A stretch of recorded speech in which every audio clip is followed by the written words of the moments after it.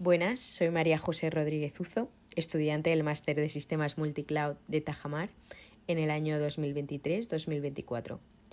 El día de hoy os voy a contar cómo crear una base de datos MySQL en Azure y cómo conectarnos a esta utilizando MySQL Workbench. Como requisito previo, obviamente necesitamos tener instalado MySQL Workbench en, el equipo. Y bueno, os, os dejo por aquí la URL eh, linkada en la descripción del vídeo, eh, que es de la página oficial de, MySQL.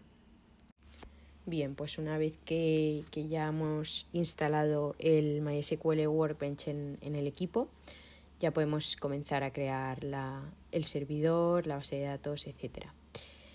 Eh, entonces, comenzamos iniciando sesión en nuestra cuenta de Azure, naturalmente.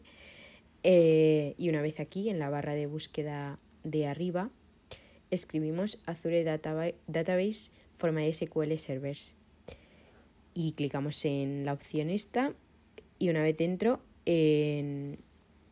vamos a crear el servidor y le damos a crear y seleccionamos eh, servidor flexible.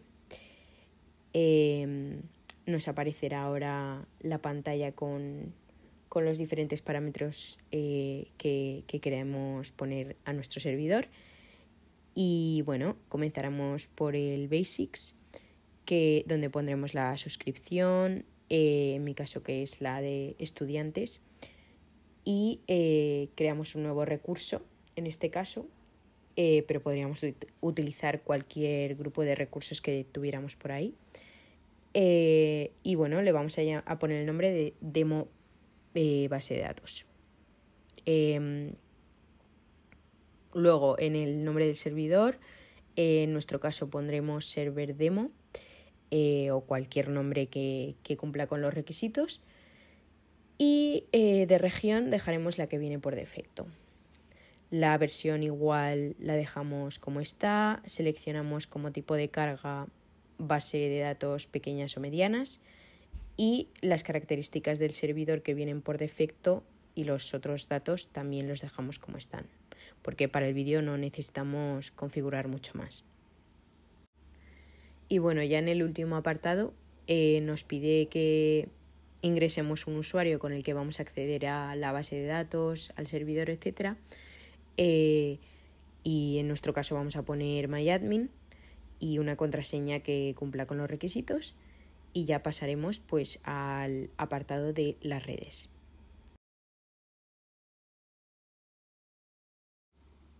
Vale, pues una vez estamos dentro de las redes, eh, podemos ver que las bases de datos de Azure MySQL están protegidas por defecto eh, de forma predeterminada con un firewall que rechaza todas las conexiones al servidor y a las bases de datos. Eh, por lo que aquí lo que tendremos que configurar eh, está aquí abajo en Firewall Rules.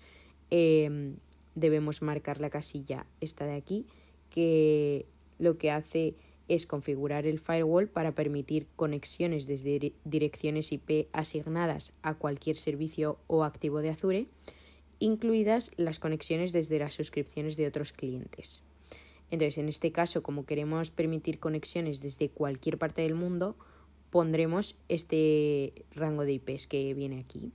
Pincharemos, le damos a continuar y aceptamos y eh, pues ya hemos agregado este rango de IPs para que puedan conectarse. Em, si quisiéramos otro rango de IPs específico o una IP en concreto, pues tendríamos que ponerla aquí.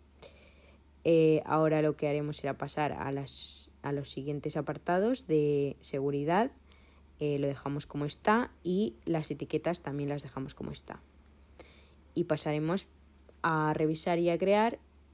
Revisamos que está todo correcto y le daremos a crear. Bueno, el proceso de creación llevará unos minutos em, en desplegarse.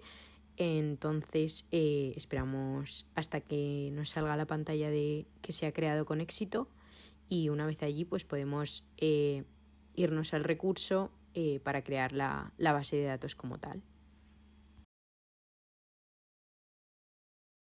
Como podemos ver, se ha creado con éxito el recurso y ahora podemos ir al recurso como tal, que es el servidor.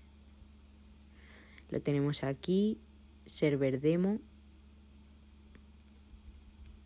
Y ya pues aquí podremos crear las bases de datos. Bien, una vez que estamos en el servidor, eh, vamos a crear la base de datos eh, y seleccionamos en la pestaña del panel izquierdo eh, base de datos. le damos a agregar y ponemos un nombre, un nombre de ejemplo cualquiera, que en nuestro caso vamos a poner mysampledb y dejamos lo demás por defecto. Y bueno, esto tomará unos segundos en crearse y podríamos crear más bases de datos, etc. Vemos que se ha creado también con éxito. Y bueno, ahora pasaremos ya a la conexión con la base de datos desde My Workbench. Entonces, para comenzar con la conexión, debemos ir a Overview y copiar el nombre del servidor que ahora utilizaremos aquí. Nos vamos a la aplicación, abrimos eh, Settings y creamos una nueva conexión. En Hostname ponemos el nombre del servidor que acabamos de copiar y en el username el nombre de usuario que pusimos antes, que configuramos antes. Le damos a Test Connection, y ponemos el, la contraseña. Le damos a OK, cerramos y vemos que aparece la nueva conexión. Pinchamos sobre esta y vemos que aparece en nuestra base de datos. Ahora probaremos una serie de comandos para ver que funcione correctamente la conexión nos conectamos a la base de datos y como podemos ver pues se ha conectado satisfactoriamente. Vamos a intentar crear una tabla que se llama inventory. Y pues como podemos ver también se ha creado. Y vamos a insertar estos datos de aquí que también se insertarán correctamente. Y por último vamos a hacer un select para ver lo que tenemos en nuestra base de datos.